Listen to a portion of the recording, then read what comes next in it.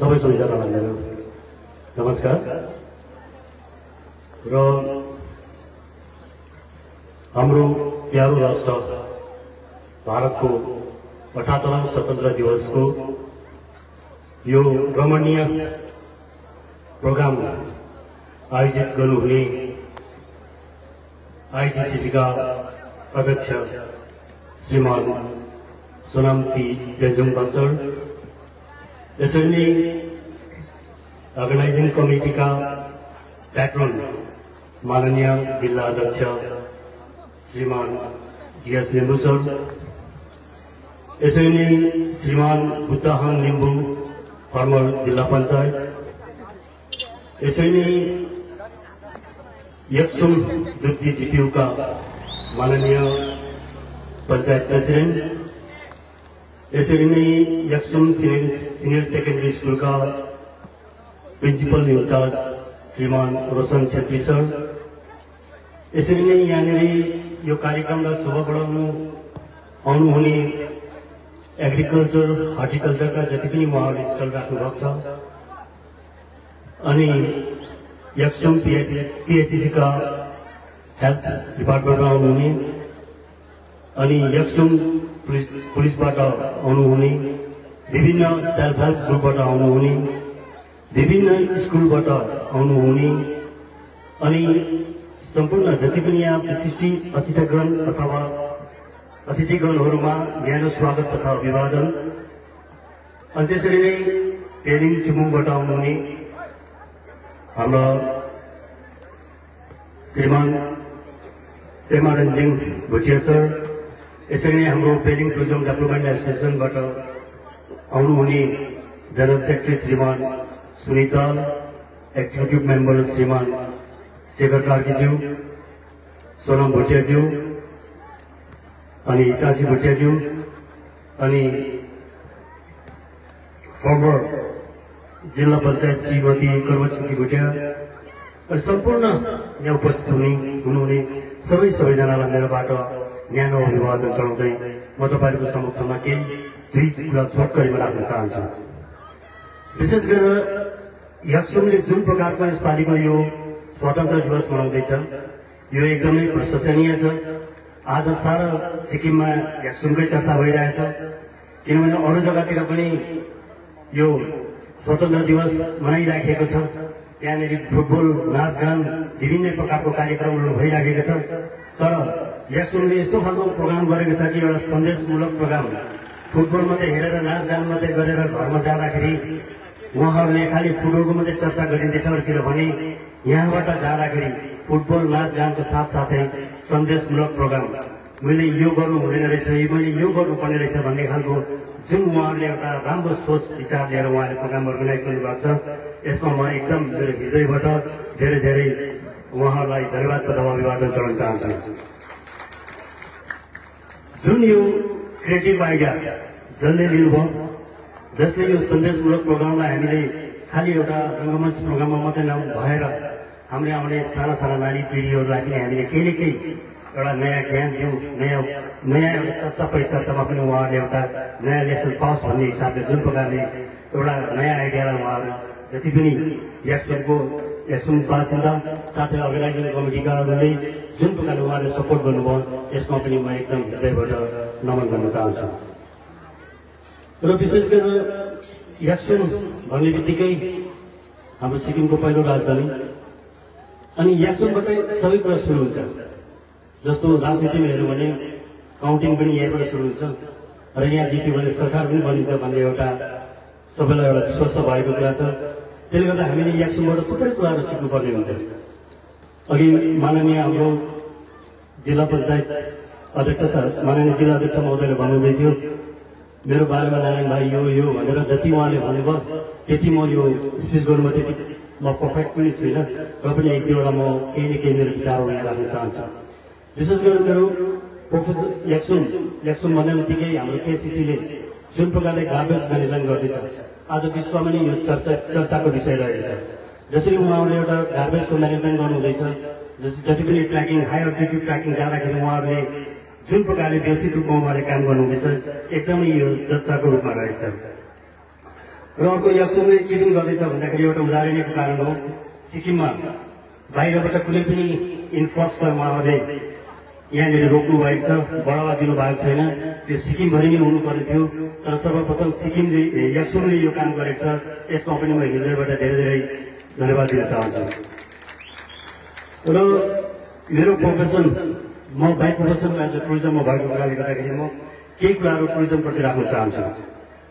विशेष गरेर याक्सुममा टुरिज्म चाहिँ एकदमै राम्रो टुरिज्म हब हो जसरी गान्तोक पेलिङ लाचेन लाचुम अनि याक्सुम र याक्सुममा एक दुईवटा कुराहरू चाहिँ कस्तो खालको मार्केटिङ भइरहेको छ भन्दाखेरि विशेष गरेर याक्सुम भन्ने बित्तिकै कञ्चनजङ्घा नेसनल पार्क भनेर चिनिन्छ।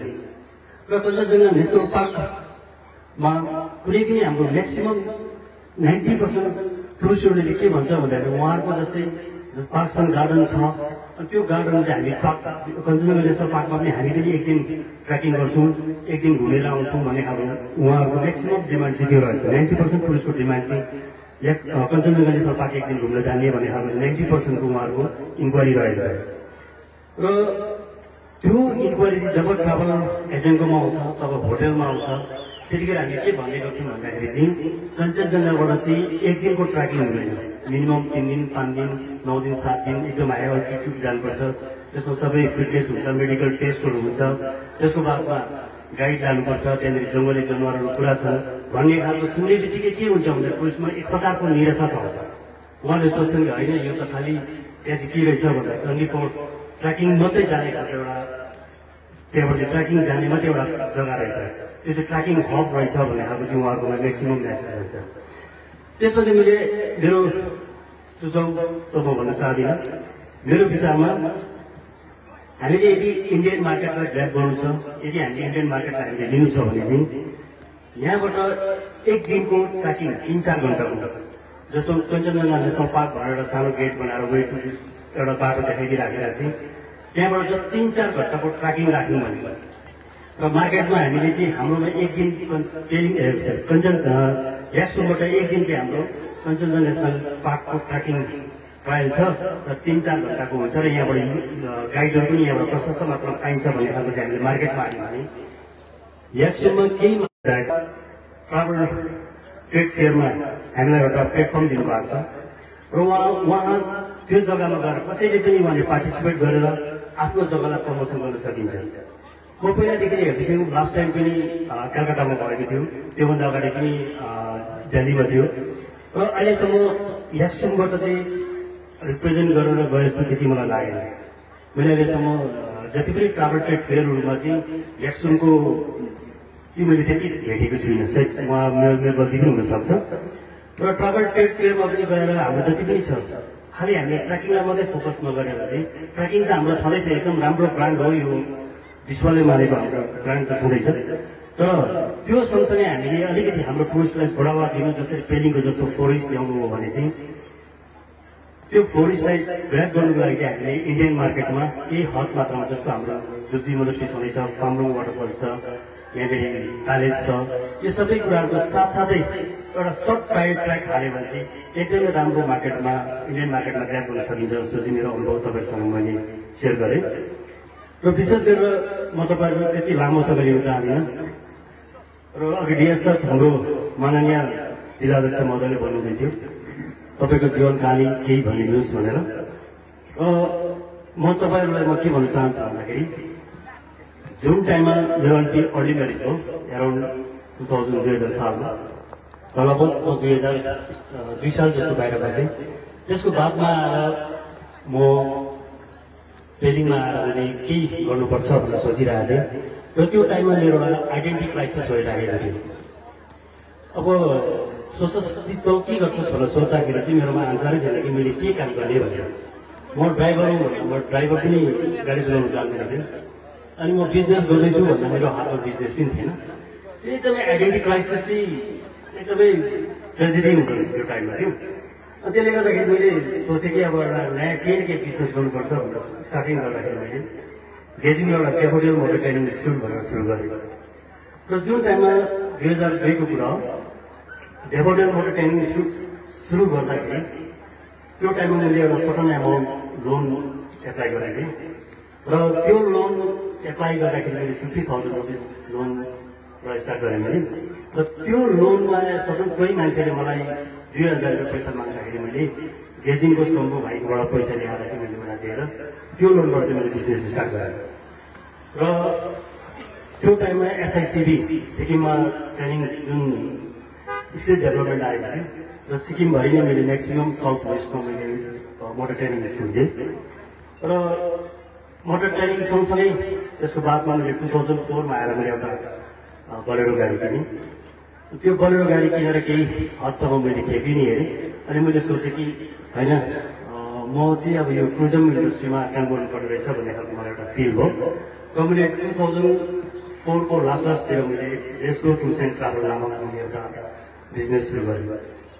र बिस्तारै त्यो बिजनेस स्टार्ट गरेपछि मलाई यस्तो खालको फिल भइरहेको थियो कि त्यति ट्राभल नचल्ने यस्तो खालको अब हामीलाई ब्युटिफुलको बारेमा त्यति नलेज थिएन। बिस्तारै बिस्तारै बिस्तारै दुई साल तिन साल हुँदै गयो। अनि यस्तो खालको मोड आयो कि सायद म यो रङ प्रोफेस प्रोफेसनल छु होला। म अब फेरि टुरिज्म इन्डस्ट्रीदेखि बाहेक अर्को प्रोफेसन छान्नुपर्छ होला भनेर म सोच्थेँ तर सोच्दै जाँदाखेरि अचानक मैले जति पनि काम गरेँ तिन चार सालको टाइममा मैले काम गर्दाखेरि सर्ट टाइममा अचानक मेरो टुरिज्ममा फेरि बिजनेस गर्नु पर्यो। र अचानक यस्तो खालको टाइम पनि आयो कि हामीलाई। बिहान पाँच बजीदेखि बेलुका एघार बजीसम्म कन्टिन्यू हामी बिजी हुन पर्यो। र काम गर्दै जान काम गर्दै जाँदाखेरि कन्टिन्यू यस्तो खालको टाइम आयो कि हामीमा राम्रो खालको एउटा टुरिज्म लाइनमा हामीले प्रोफेसन पक्रिसकेका थियौँ। र नौदेखि गएर कमसेकम जबसम्म हाम्रो यो कोभिड आएको थिएन त्यो टाइमसम्म हामी यति साह्रो बिजी भयौँ। विशेष गरेर मेरो धर्मपत्नी हो। र हामी दुईजनाले बहुत खट्यौँ। त्यो खट्दै जाँदाखेरि टुरिज्म इन्डस्ट्रीमा थुप्रै जग्गातिर हामीलाई अवार्डहरू पनि दियो। सिक्किम गभर्मेन्टले पनि बेस्ट ट्राभल एजेन्सी भनेको थियो। र आज हेर्नुहुन्छ भने देशको tours and travel Sikkim Sikkim टुरिज्ममा A क्याटेगोरीमा त्यो ट्राभल एजेन्सी छ। र जुन टाइममा लकडाउन आयो त्यो लकडाउन आउँदाखेरि मात्रै हामीलाई थाहा भयो कि त्यहाँ ब्रेक लागेर केही हदसम्म हामीलाई ब्रेक लाग्यो।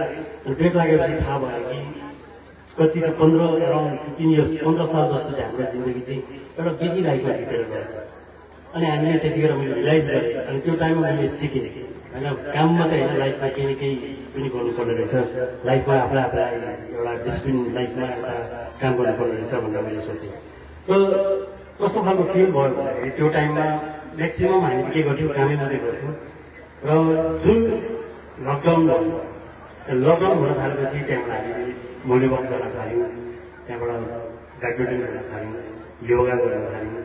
त्यहाँबाट यो काम गर्दै जाँदाखेरि लास्टमा मैले के बुझेँ भन्दाखेरि चाहिँ जिन्दगीमा बहुत स्ट्रगल गरिन्छ बहुत काम गरिन्छ सबै कुरा गरिन्छ तर आफ्नो हेल्थको लागि पनि एटलिस्ट दुई घन्टा चाहिँ दिनुपर्दो रहेछ। र मैले यस्तो खालको डेली रुटिन बनाएको छु भाइ अब जस्ट मेरो भ्यू सेयर गरेको। म बिहान पाँच बजी उठ्छु र एक डेढ घन्टा ब्याडमिन्टन खेल्छु आफ्नो चालिस पैँतालिस मिनट योगा गर्छु र म सात बजीदेखि चाहिँ मेरो अफिसमा बस्छु यो मेरो डेली रुटिन हो र तपाईँहरूले पनि आफ्नो लाइफमा आफ्नो रुटिन बनाएर काम गर्नुभयो भने एकदमै तपाईँले अगाडि बढ्नुहुन्छ र तपाईँले कसै पनि यो नसोच्नुहोस् कि म गर्न सक्दिनँ म गर्दिनँ हुँदैन भनेर सोच्नुहोस् तपाईँले यदि सोच्नुभयो भने अर्कालाई कम्पेयर नगर्नुहोस् यो हेर्नुहोस् कि यदि उसले गर्न सक्छ भने म किन सक्दिनँ भनेर सोच्नुहोस्। त्यति सोच्न सक्नुभयो भने तपाईँ अवश्य कामयाबी हुनुहुन्छ जहिले पनि तपाईँहरूले पोजिटिभ थट राख्नुहोस्। हुन्छ गर्छु गर्न सक्छु भन्ने खालको तपाईँले यदि पोजिटिभ थट राख्नुभयो भने तपाईँ जहिले पनि अगाडि गर्न सक्नुहुन्छ। र म तपाईँहरूको बेसी समय पनि दिँदिनँ। जुन यो स्वतन्त्र दिवस मनाइराखिएको छ आज विशेष गरेर हामीले स्वतन्त्र सेनानी सेनानीहरूको जसको यो त्याग बलिदानले गर्दाखेरि आज भारतवर्ष स्वतन्त्र भएको छ। यदि ती वीर पुरुषहरूको त्याग र बलिदान थिएन भने आज भारत अर्कै भारत हुन्थ्यो होला। जसले पनि उहाँहरूले त्याग गरेर उहाँहरूको बलिदान दिएर आज सिङ्गो भएर हामी विभिन्न जात जाति भएर हामी रङ्गेर एक भएर बसेका छौँ। त्यसै कारणले गर्दाखेरि उहाँहरूको उहाँहरूको बलिदानले गर्दाखेरि आज हामी यहाँ छौँ। र जति पनि तपाईँहरू यहाँ उपस्थित हुनुहुन्छ दर्शकबिन महिला अनि स्वजन प्रेम सबै सबैजनालाई म ज्ञान अभियान चढाउँदै मेरो छोटो भक्ति भइरहेको चाहन्छु। धन्यवाद। जय हिन्द जय श्री